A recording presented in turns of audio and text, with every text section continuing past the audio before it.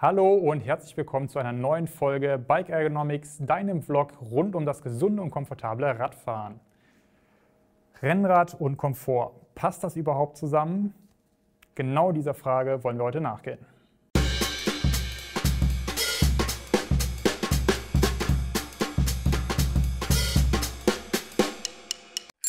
Rennrad und Komfort, passt das zusammen? Genau dieser Frage gehen wir heute nach. Mit dabei Madeleine und Kim. Hallo ihr beiden. Hallo. Hi. Madeleine, du als ehemalige Bundesliga-Rennradfahrerin, du warst wahrscheinlich eher so auf möglichst flach und möglichst schnell auf dem Fahrrad sitzen aus. Da hat Komfort jetzt vermutlich nicht so die große Rolle gespielt, oder? Da hast du recht. Schnelligkeit und Aerodynamik waren auf jeden Fall der Fokus. Aber auch ich äh, mache lange Trainingsfahrten und wenn da die Sitzposition nicht stimmt, wenn der Komfort nicht passt, dann ist das Ganze einfach nicht angenehm. Ja. Rennradfahren ist ja jetzt nicht nur für die jungen und sportlichen Rennradfahrer ähm, oder Fahrradfahrer interessant, sondern es wird ja auch immer beliebter bei älteren. Kim, wie sieht das aus? Ist denn Komfort für die älteren Rennradfahrer wichtiger als für die jüngeren? Grundsätzlich ja, aber es gibt natürlich auch unter den älteren Leute, die fit sind, die gestellt sind, die auch keine Schmerzen spüren. Aber die meisten von euch, ihr kennt das, ihr kennt das schon, die Probleme mit dem Sattel oder auch vielleicht mit den Händen oder mit dem Nacken. Mhm. Madeleine, du hast gerade eben schon angesprochen, die Sitzposition. Wenn die nicht stimmt, dann tut es irgendwo weh. Wo hattest du Probleme?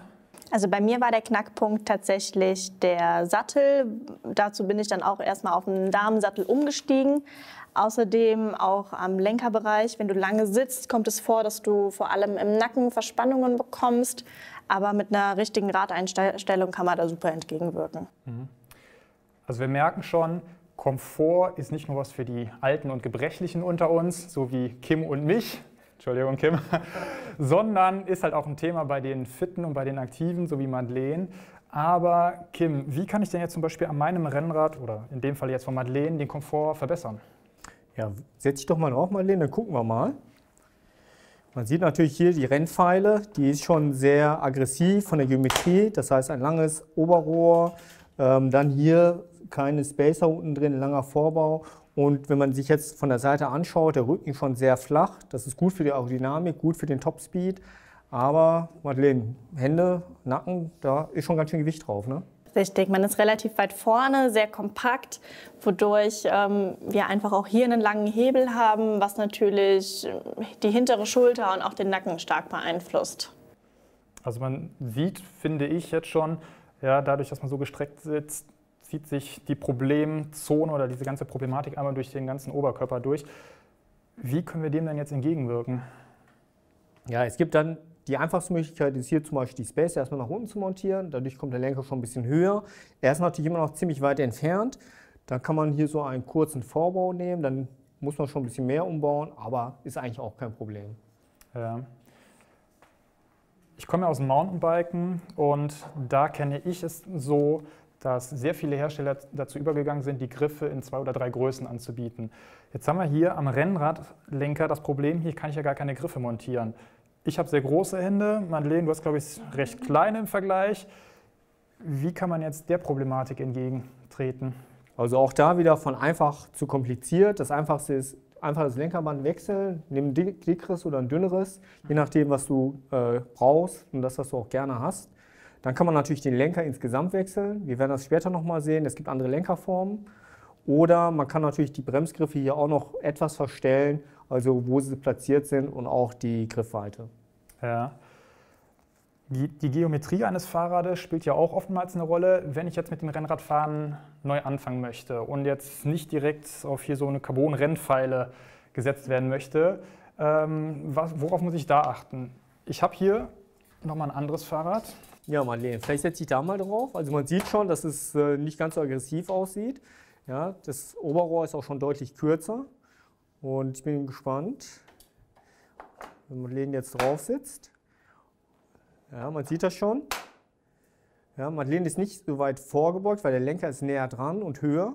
Und dadurch, ähm, ja, Madeleine, wie fühlt sich das an? Genau, der Hebel ist einfach nicht so lang. Ich kann hier vorne entspannter sitzen. Ich habe nicht so viel Druck auf meinen Armen, auf meinen Schultern. Es ist einfach etwas komfortabler. Ja, das sieht auch für mich schon deutlich angenehmer aus, ein bisschen aufrechter. bisschen entspannter, vor allem im Schulterbereich. Ja, so kennst du das vom Mountainbike, ne? Ja, da sieht das noch ein bisschen anders aus. Schön die Sattelstütze runter, genau. Okay, haben wir im Lenkbereich sonst noch Möglichkeiten? Also, man sieht hier der Lenker, der ist ein äh, ganz eleganter einteiliger Lenker und die Form ist anders. Hier ist so eine breite Fläche und wenn du jetzt zum Beispiel auch mal greifst mit deinen großen Händen, da findest selbst du genug Platz. Ne? Mhm. Aber es ist natürlich aufwendig, dann den ganzen Lenker zu wechseln. Hier sieht man auch, die Spacer sind schon montiert, dadurch kommt der Lenker auch äh, etwas höher bei diesem Rad. Mhm. Madeleine, du hattest das vorhin schon angedeutet, du hattest vor allem Probleme im Sitzbereich. Ja?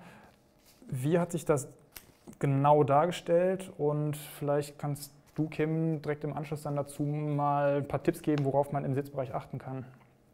Dadurch, dass ich auf der Rennmaschine sehr lang gestreckt bin, ist mein Becken ja auch sehr weit nach vorne gekippt, was mir gerade bei längeren Fahrten Schmerzen bereitet hat. Ich bin dann als erstes auf den Damensattel umgestiegen. Die sind von der Ergonomie einfach ein bisschen anders. anders. Das Becken von Frauen ist auch anders gestaltet als das von Männern. Vielleicht kann Kim das gerade einmal demonstrieren. Also man sieht das hier, das Becken der Frau ist anders geformt und viele Frauen, so wie Madeleine, sind sehr beweglich. Dadurch kann das Becken sehr weit nach vorne gekippt werden. Und jetzt entsteht hier natürlich dann viel Druck und dann ist hier so eine spezielle Aussparung äh, sehr sinnvoll. Ja, also ihr habt schon angerissen, es gibt einen Unterschied zwischen Frauen- und Männerrennradsätteln. Kim, wenn ich mich jetzt für einen Sattel interessiere, fürs Rennrad, worauf muss ich da genau achten? Also einfach anfangen, was brauche ich? Damensattel, Herrensattel. Man sieht, die haben unterschiedliche Anatomien und auch die Entlastungen sind an den Stellen, wo man das braucht. Oder die Frau weiter vorne, beim Mann eher zentral. Dann natürlich die richtige Größe. Dafür äh, solltet ihr euch ausmessen lassen und dann die richtige Größe wählen. Das dritte ist dann, natürlich muss die Form auch passen. Also da auch mein Tipp, fahrt auf jeden Fall dann äh, verschiedene Sättel mal Probe, guckt, welcher da gut passt. Okay, das klingt jetzt alles ein bisschen komplexer. Äh, man muss doch ein paar Dinge beachten. Wir haben ja schon eine Folge darüber gedreht, wie man den richtigen Sattel findet. Falls euch das jetzt aber interessieren sollte, wie ihr den richtigen Rennradsattel für euch findet, dann schreibt uns das gerne unten in die Kommentare. Dann würden wir, falls Interesse besteht, dazu auch noch eine eigene Episode drehen. Ich denke, das kriegen wir ganz gut gefüllt. Ne? Ich ja, bin dabei. Wunderbar. Ähm, Madeleine, du hast mir noch gesagt, dass du am Anfang doch ein bisschen experimentieren musstest mit deiner Sitzposition. Wie, wie hat sich das dargestellt? Richtig. Bei den Frauen ist manchmal das Problem, rutsche ich nach vorne, muss ich den Sattel vorne hochstellen, wie gehe ich da am besten vor? Das ist natürlich sehr individuell, jeder muss das ein bisschen für sich rausfinden. Grobeinstellungen habe ich tatsächlich selbst zu Hause gemacht, aber dann das Feintuning durfte Kim übernehmen und so bin ich tatsächlich auch sehr komfortabel auf meiner Rennmaschine unterwegs. Wunderbar, es sei dir gegönnt. Wie finde ich denn jetzt die richtige Position für mich? Ja, also wie Marlene schon gesagt hat, ihr könnt erstmal selber ausprobieren, grob eure Position zu finden. Das Wichtigste ist dann erstmal die Sattelhöhe. Da gibt es den Hügelfaktor, ihr messt also eure Innenbeinlänge aus, multipliziert das, dann habt ihr eine äh, Sattelhöhe, die könnt ihr dann einstellen. Oder ähm, Ihr benutzt die Fittingbox, da sind dann auch ähm, entsprechende Tabellen drin und dann könnt ihr auch genau schauen, was ihr braucht. Ja, falls euch das mit dem Hygi-Faktor vielleicht ein bisschen zu viel ist, schon etwas zu tief äh, ins Detail reingeht, guckt mal unten in der Videobeschreibung, denn in der Fittingbox gibt es eine kleine Tabelle, die wir euch unten in der Videobeschreibung verlinken. Da müsst ihr das nicht mehr selbst ausrechnen, sondern könnt dann die bei euch ausgemessene Innenbeinlänge ähm, und die dazu passende Sattelhöhe ja, ablesen und dann könnt ihr es direkt so einstellen. So, Kim.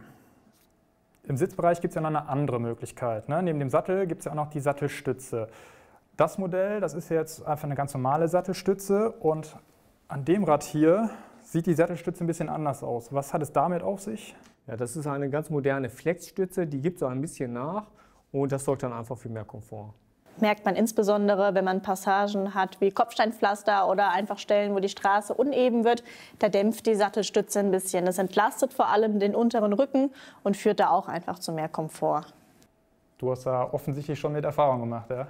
Richtig, ich durfte die Sattelstütze lange fahren, habe sie auch im Rennbereich gefahren. Und wenn man da in Belgien, Holland unterwegs ist, da macht es dann schon Sinn, wenn man da ein bisschen Entlastung hat. Alles klar. Jetzt haben wir den Lenker und den Sitzbereich abgedeckt. Ähm, ich selbst habe ja ab und zu auch mal Probleme mit einschlafenden Füßen, also dem dritten Kontaktpunkt mit dem Fahrrad. Woher kommt das und wie kann ich dem entgegenwirken? Also das erste ist natürlich, wählt den richtigen Schuh, der sollte die richtige Größe haben, die richtige Passform, der muss richtig gut sitzen, weil ihr fahrt ja auch, auch lange dann äh, in dem Schuh und ihr habt immer diese Belastung durch die Pedale. Da sind wir schon beim zweiten Punkt. Das Glied, also die Verbindung zur Pedale, sollte immer richtig eingestellt sein. Und das dritte ist, wenn man dann äh, mit so einer Einlage arbeitet, dann wird der Fuß auch richtig gut geführt und gestützt. Genau, ich, auch ich habe die Einlage drin. Der Schuh ist einfach sehr schmal geschnitten und die Sohlen, die in den Schuhen verbaut sind, sind einfach meist vom Fußbett nicht so gut.